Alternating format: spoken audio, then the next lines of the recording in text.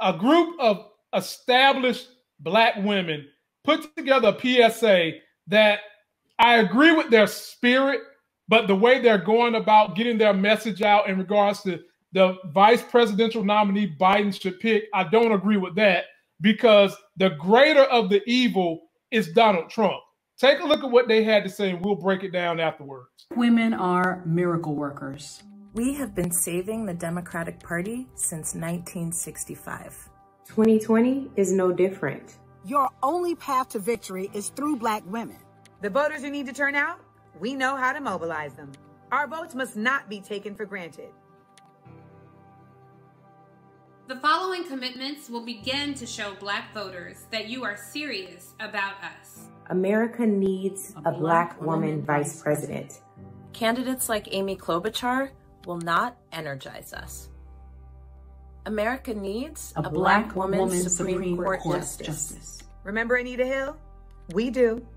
America needs more in a comprehensive black agenda. The rules are rigged against our communities. Whether we are talking about a black person who died of COVID 19 because of the lack of access to health care, or Ahmaud Arbery being killed by vigilantes, or Breonna Taylor, an EMT killed by police while laying in her bed. We deserve solutions that address systemic racism, economic injustice, and domestic terrorism. Joe Biden, you enacted drug and crime laws that harmed the black community for generations. Every major crime bill since 1976, every minor crime bill has had the name of the Democratic senator from the state of Delaware, Joe Biden, on that bill. You say you know better now. Show us you're serious by doing better. This country has a problem. Police officers and vigilantes are killing us, and our quality of life must improve. Joe Biden, this must be addressed. You must address our oppression, and most importantly, embrace our power to win the White House. Vice President Biden, your campaign's mission is to restore the soul of America. There is no restoration without us. Okay. I'm going to put it to you like this. I feel what they're trying to say. They they want Biden to pick a black vice presidential woman. Okay. There's only one he can pick, and if that one says no, then I'm sorry, ladies, he can't pick no black lady right now. And if y'all have the audacity to tell me that you would rather either not vote or vote for Trump because he doesn't put a black woman on that ticket, y'all are being exactly the problem that you are talking about in your PSA. The only black woman he can put on that ticket that can cross the boundaries is Michelle Obama. That's the only one in this race. Nobody else is going to do it. No Stacey Abrams. No, um, what's the chick in California that's a senator? Um, Kamala Harris. Kamala Harris. No, and I agree. I don't like Amy Klobuchar. Um, I think that if he's going to get a woman, which he said he's going to do, it has to be the lady in Michigan, Gretchen, or maybe, may, maybe Elizabeth Warren. Other than that, to say he's going to have to get a black woman that's not named Michelle Obama and y'all are not going to support it, I hope that's not what y'all are saying. Y'all didn't say that, but it sounds like that's where y'all are going. And all the things you said about black women in our community all that is true. But in terms of massive voter turnout, how we lost. The last election was lost by two states because the blacks didn't turn out, but by a majority of states because overwhelmingly educated white women that normally voted for Barack Obama in the last election came out and voted for Trump. So make sure that you're careful not to have people run from Joe Biden and just say, I'm not voting because it doesn't matter, when we know Trump is the greatest evil this country has ever seen in the White House. T-Streamz to give it to you first. Well, against all the grain, man, that's that's feminism at its best, man. That's mm. that that's that feminist muscle. Uh, you know, I I totally agree. I totally agree with you know, with uh, and, and I'm look here. The the whole trying to flex that kind of muscle, trying to flex that kind of muscle isn't the wisest thing to do. Not not right now. Okay, is okay. There there's options out there. I'm sure that he, I'm sure that he's looking at options, but to you know, it's almost like a it's almost like a, a, a matter of fact statement that that that announcement was saying, you know, you do this or or we abandon you. And so then you have you have to look at you have to look at so according to that according to that statement and I'm sure not all women uh, feel this way. Uh, but I'm damn certain that quite a few do. All right. So you're saying that according to this, according to this this service announcement you just that you just played, that you would rather you'd rather not turn out. You would rather send your vote someplace else. Uh, if he does not, you know, if he does not put, you know, a a black woman on on the ticket, uh, and risk and risk because that's exactly what's going to happen. You're going to risk that and that entire election on that ultimatum. Uh you know i think is i think is foolery all right? Now don't get me wrong i understand the women's movement and i you know i agree with their progressions and all this other kind of stuff but trying to throw in an ultimatum like that at this juncture in the game is is irresponsible on on on on the organizers of that service announcement part. Now let, let me let me make sure you know this too.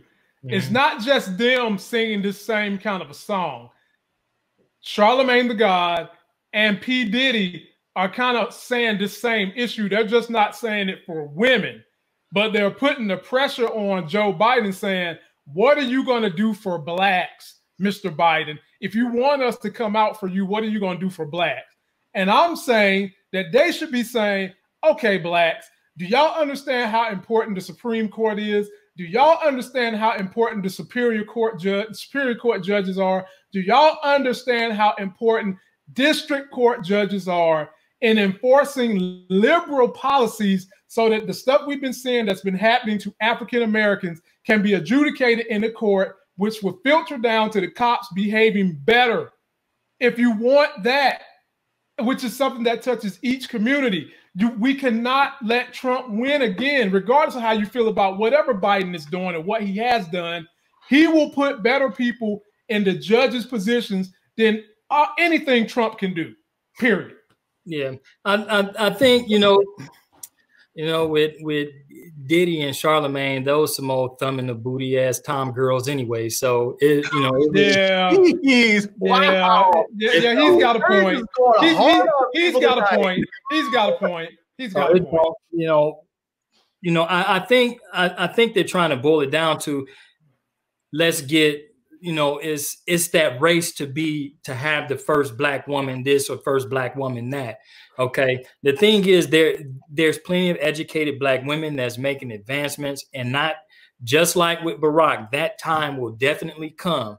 You know, you can't, you know, you you you you can't force it on ultimatums. Now, if if they get behind that agenda and push it, if they get behind that agenda and push it, and the the entire election, the the entire world is is is hung along that balance.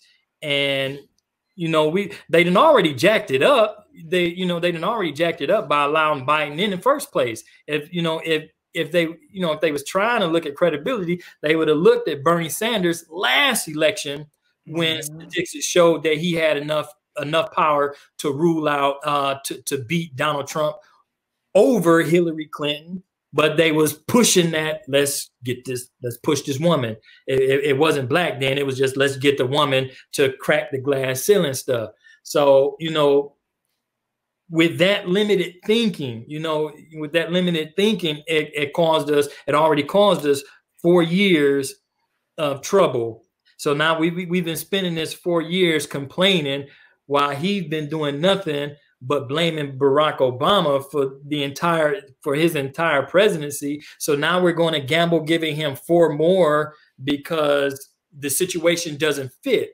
Well, if this if we knew that this juncture was going to happen, this is the second time, not the first, but the second time around that we allowed it to happen because what what because Bernie was a little bit older, he he looked a little bit more sluggish or anything like that.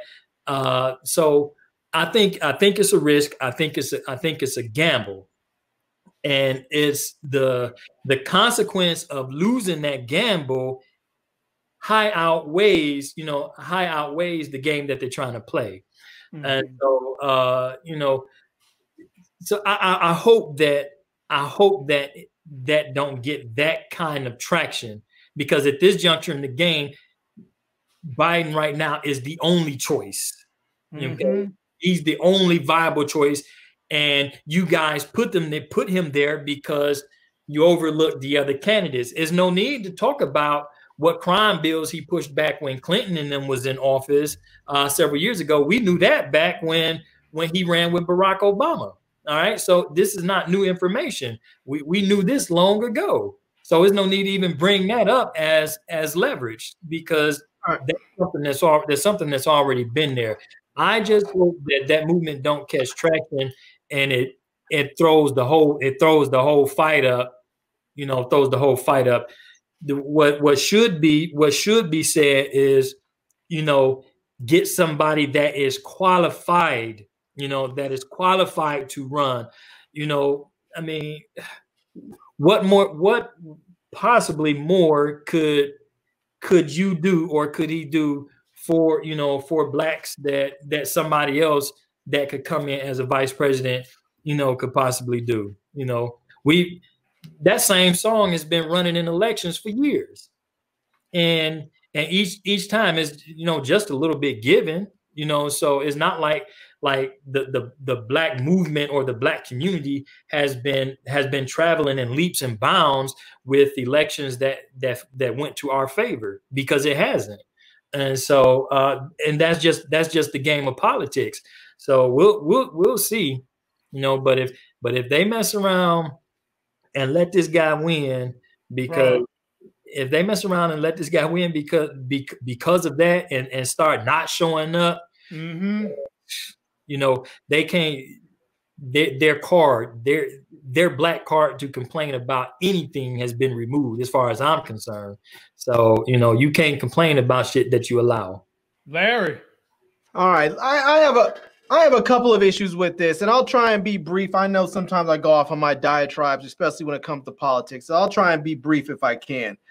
But there are a couple of points that I take issue with with their with their statement. First, which one that just hit me, just sort of needled at me, was this idea of calling these people that are out there killing black folks in the streets vigilantes. They're not vigilantes. They're not vigilantes. They're just straight up murderers. They are white terrorists, and that they need to be called that. Vigilante implies that there is a crime being committed and a citizen is going about the the law enforcement activity without the authority of of the of the law and so it implies that this is a person who's just taking the law into their own hand. Well, there's no law being broken with these black men out there being murdered. There's no law against jogging down the street to get exercise. So this idea that these men are vigilantes is something that they you need not even put that out there. These are these are terrorists. These are murderers. It, they should be called nothing less. Now, as far as as far as their message about uh, uh, as far as their message about putting picking a black female candidate i don't like that message to begin with because it just uh, like if they said this is the candidate we want and these are the reasons why you should pick her i would be all for that message them supporting their candidate. But just the, the message of it needs to be a black woman I don't like that for anybody. I don't like that for black women, for white women, for black men, for any other group. I do not like that. You need to put forth the candidate that you think would be good and then make your argument for that candidate. And otherwise, you just end up with the politics of race. You have to pick this person because they're next in line. You have to pick this this person because they're a woman. This person because they're because they're uh, uh, because they're black or they're Hispanic or they're Asian. I don't like that. Find your find your candidate that you think would be great that fits your idea and then put them forth. So if you like Kamala Harris or if you like uh, what's her name down in Georgia, you like whoever else, put them forward. You know, I don't like them calling out people like Amy Klobuchar. You know, uh, let's be real. The job of a vice president during the campaign is to be an attack dog. Amy Klobuchar, I cannot imagine anybody else in this group uh, presidential candidates that we had that would be a more vicious attack dog against Donald Trump. She would be brutal, you know. And as far as as far as the this idea that that black women are this are this this huge group, this huge voting bloc that the Democratic Party would be crippled without, well, let's just be real. The the black women within the Democratic Party are very very important. They are a large voting bloc. But lar- they are larger than the men. And people need to understand their importance as a voting bloc is most important during the primaries. Once you get to the general elections, their numbers are not as significant. So, yes, you still need to pay attention to them. You still need to cater to them, but their significance is not as great as it is during the primaries. And they need to understand that. So, you can't just basically say, we're a big deal, we're a big deal. You need to put one of us in place. No, we are in a position in this country where it is literally life and death, and we need to pick the best candidate to get in there, the best likelihood of getting our candidate with our ideals in there. And and, the, and that little clip they showed with Joe Biden trying to make it seem like he was just this horrible person that's been going after black people with the crime bills. Well, here it is. Joe Biden went ahead and supported the crime bills that black people in Congress and at the local levels wanted to get passed.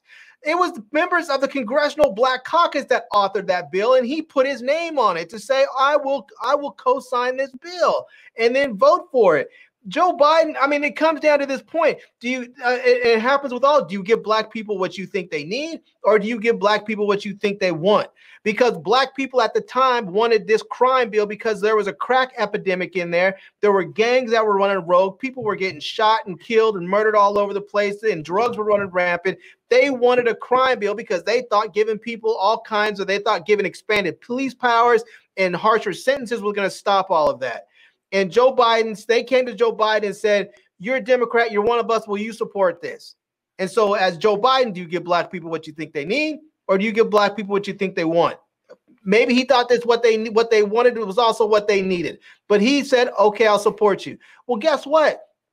You can't now go back years later and say, oh, he must be a racist because he voted for these policies that turned out to be really bad for black people. Yeah, but it was black people that voted for it. That was black people that authored this crap. And it was black people from your party that, that authored it and wanted it. He supported it. Okay, but it doesn't make him an evil person because you asked him, will you support our agenda? And he said, yes. I mean, I just, I think, I mean, don't get me wrong. I understand them putting forth their political power, trying to flex their their their social media muscle, but I just honestly believe that if they want to, if they want a black female candidate, what they should have done is got together as a group and said, "This is the candidate we like. Now let's go ahead and try and get her to be the selected vice, P, you know, uh, VP uh, candidate. Not just say it needs to be a black woman. Nah, screw that. And and and don't and don't sit up there and try and make the, our our Democratic candidate look bad as if he as if he was all all of a sudden like he was against black people. I mean, you can't you can't sit up there and, and, and smack them upside the head on one instance and then say, "Oh yeah, now you need to go ahead and give me what I want." No, that's crazy. well, even with oh, sorry, all, one last thing, one last yeah. thing. Also, Kamala Harris, Elizabeth Warren, Amy Klobuchar. I don't want to see any of them as VP. And here's why they're all sitting senators. I do not want to take anybody out of a sitting, uh, out of out of a Senate seat and put them into a, a position that basically is a as a nothing burger VP. No, I don't want to take them out of the Senate. Go find a governor, you know, and find somebody who's won. Do I like what's her name does Stacey Abrams down in Georgia? If she would have won, I would have said great. She would have won. But if she was governor down in Georgia, I would have said you need to leave her in place and let her go and maybe run the next cycle. But right now, I think Whitmer's a good choice. Why? Because we need we need Michigan as a as it's a battleground state, and we need Michigan. You know, and and she's she's a good looking woman. She's proved that she that she that she is firm, that she will stand up to the bullshittery that's out there, and I think she will do that. Now, as far as all the other women that are out there, I don't know who they want. I think the woman, I think they were looking at somebody in New Mexico that might be good, but all these other women, they might be great. I'm not willing to take them out of the Senate so that they can be VP. I'm just not. I mean, we're fighting to get the damn Senate. Why do you want to start giving up seats? It doesn't make any sense. Even one. Well, here's know? the problem, Larry. Everybody don't know politics the way me and you know it because we follow it every day. And mm-hmm. people should follow politics because it deals with your pocket. It deals with your environment. It's not just the social issues when you should tune into politics. I know me, Streamz, and Larry, we all do businesses. So policies affect us the minute a certain policy is made or money is given out, however you want to call it. A vice presidential candidate is supposed to be strong where the presidential candidate is weak.